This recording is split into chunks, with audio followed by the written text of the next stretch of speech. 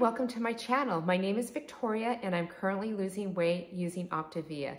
I am very excited to share this video with you today. It's on alternative fuelings and I have done several on alternative fuelings, but what makes this one different is that the fuelings that I'm going to share with you are very quick and easy to put together and they also meet the fueling parameters that Optavia has set forth. And so if I have a day that I do not want to track, then I can feel very confident that with these fuelings, I am meeting all the requirements and I can remain in fat burn. Now, the one thing that these fuelings don't have in common with the Optavia is that they don't have all the vitamins or probiotics that the Optavia fuelings provide. So I do make sure every day to take a vitamin supplement and a probiotic. I have made this in the form of a slideshow, so I will make those slides available to you below this video so that you can take a look at them if you would like to. Having said that, let's go ahead and get started with the slideshow. Quick and easy alternative fuelings. The first one I'm showing you happens to also be my favorite one out of all of them. It's a spinach egg white frittata and one and a third ounces of turkey breast. The Optavia fueling parameters are 110 calories, 15 grams of carbs or less, 10 to 15 grams of protein, 5 grams of fat or less. I will not go over the Optavia fueling parameters for all of them. I will, from here on out, only share the alternative fueling parameters. So for the one spinach frittata and the one and third ounces of turkey breast, it came out to 110 calories, 6 grams of carbs, 13 grams of protein, and 5 grams of fat.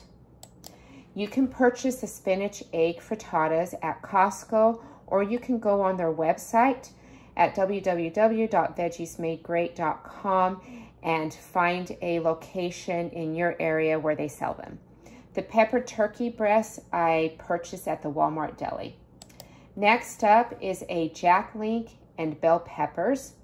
For one jack link, and one cup of bell peppers. It came out to 109 calories, 10 grams of carbs, 12 grams of protein, and 2 grams of fat. The bell peppers I purchased at the store already pre-cut. The Jack Links can be purchased at www.jacklinks.com. You can find them at Walmart, Target, and even Amazon. The pre-cut bell peppers I purchased at our local Smith's grocery store. Next up is the Two Good yogurt and jicama. So for one yogurt and 2.8 ounces of jicama, it came out to 110 calories, 10 grams of carbs, 13 grams of protein, and 2 grams of fat. The Two Good yogurt can be found at Walmart or Target. I purchased pre-cut jicama at our local Smith's grocery store. It does cost a little bit more to get the pre-cut vegetables, but it sure saves on time and makes it quick and easy.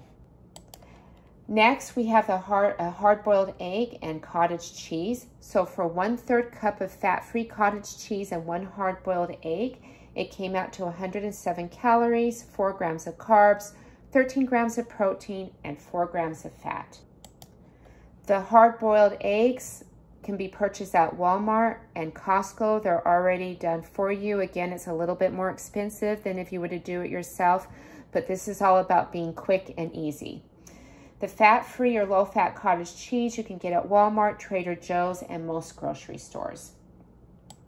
Lastly is lemon pepper chicken and Melba toast. So for one pouch of lemon pepper chicken and one and three-fourths pieces of Melba toast, it came out to 111 calories, 9 grams of carbs, 13 grams of protein, and 2 grams of fat. I purchased the Melba toast at Walmart as well as the lemon pepper chicken.